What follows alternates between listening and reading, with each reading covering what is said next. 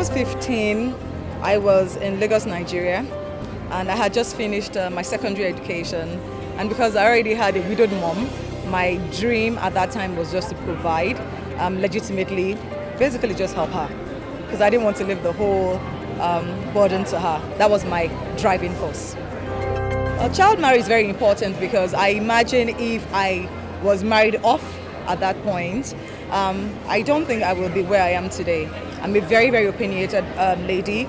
I'm very strong and I am still married. I got married at the age of 18, but I chose to marry at the age of 18. I wasn't forced into it, I wasn't talked into it.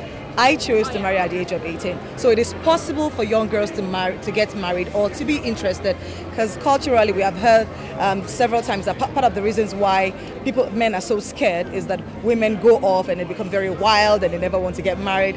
Hello, I got married when I was 18 and I am still married and I'm going to be 20 years married. So it is possible for young girls to still get married. It is possible for young girls to get educated and it is possible for young girls to be empowered.